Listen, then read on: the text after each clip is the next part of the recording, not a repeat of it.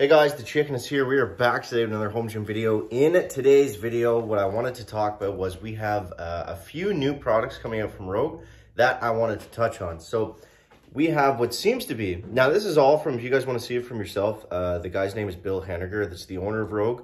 Um, he'll put on his Instagram like new products as they come out kind of thing or whatever they're working on. So he'll give us like sneak peeks and stuff. So um, it's kind of cool. It's worth a follow if you guys have Instagram and uh, are interested in this kind of stuff. So first we have uh, what seems to be like a football slash Swiss bar. Then we have a um, like a cambered neutral grip bench press bar, very similar. It looks like Rogue's answer to what we have right here, the Cadillac.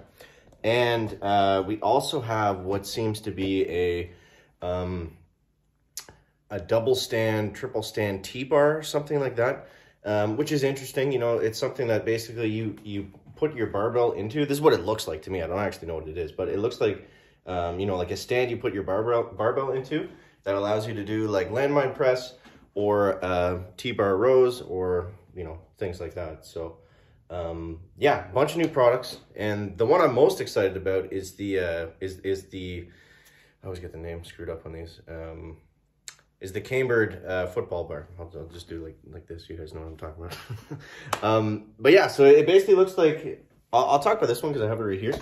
Um, it basically looks similar to this, except it's a little harder of an angle. It, it's not like a, it's not like a straight curve. It's, um, you know, it's like welded cut steel. So it's not like all in, in one motion, but it looks sick. Like it, it, looks really good. And it also has, uh, knurled handles, which is really exciting.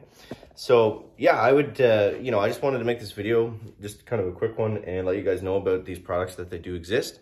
And yeah, if you're in the market for any of this kind of stuff, I would wait because it's usually, you know, pretty fair pricing uh, from Rogue. So um, yeah, definitely something to, to be on the lookout for.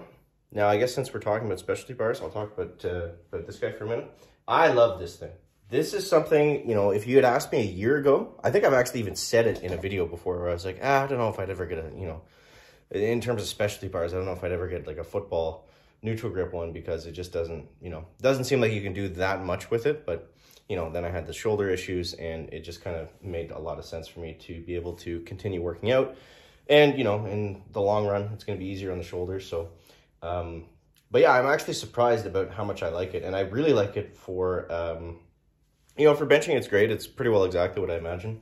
Um, it feels nice, but it's awesome for uh, curls and like skull crusher movements. It, it just, I guess the way the um, the angles are on the on the handles, it just feels like it just feels super smooth. And I'll do a couple here for you. Bang out some some bicep curls because I mean that's what everybody wants to see, right?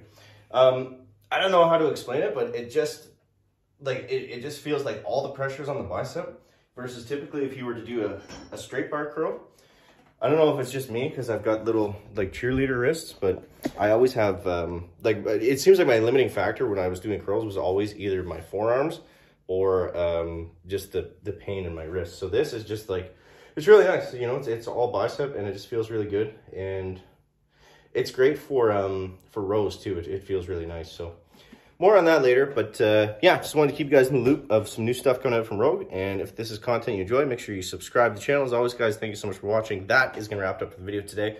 Make sure to leave a like if you found it interesting, entertaining, or informative. Catch you next one, guys. Chicken out. Back, back.